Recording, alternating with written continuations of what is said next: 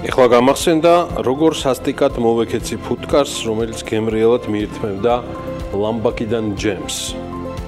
მე კიდევ გადავჭერი ის ორ ნაწილად დანით.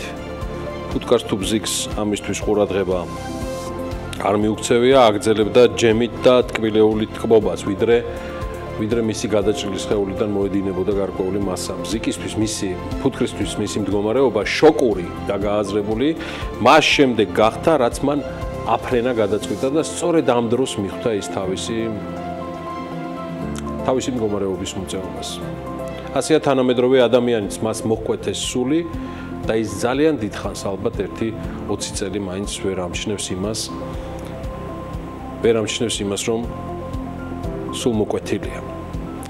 რა შეხედულებების თუ ღირებულებების მატარებელიც არ უნდა იყოს საზოგადოება? ამას დიდი მნიშვნელობა არ აქვს. საზოგადოება შეიძლება სრული ინტელექტუალური თავისუფლება მისცე და ჰქონდეს. რადგან მას უბრალოდ ინტელექტი არ აქვს. ამ კვირაში ერიკ არტურ ბლერის, იგივე ჯორჯ ორველის დაბადების დღე იყო, სხვა შორის ივნისის ამ დღეებში გამოვიდა მრავალი წლის წინ, ალბათ გამორჩეული და ეტაპური მისი ციგნი სახელწოდებით 1984. მე იმედი მაქვს საქართველოსი საზოგადოება გამოიმარჯვებს ამ ჯერზეც. ამის ყველა წინაპირობა ჩანს.